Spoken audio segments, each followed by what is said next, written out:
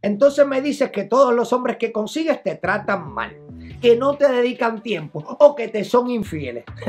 Mira, yo no sé tú, pero yo, yo me encojono. Es muy fácil culpar a los hombres por tus relaciones fallidas, pero culpar a los hombres no va a resolver tu problema.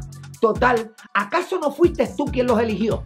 Si quieres un cambio en tu próxima relación, comienza por darte tu lugar, ser cada día una mejor persona y sobre todo, tienes que ser feliz estando sola, porque la felicidad no te la va a dar nadie. Tienes que conocer a alguien que también sea feliz y que esté dispuesto a compartir su felicidad con la tuya.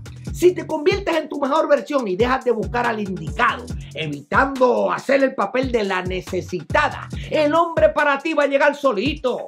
Escucha esto porque te va a gustar. Las flores no persiguen las abejas. Las flores simplemente son y las abejas llegan solitas. Deja de actuar como hierba mala y conviértete en la flor que naciste para ser. Anote el dato.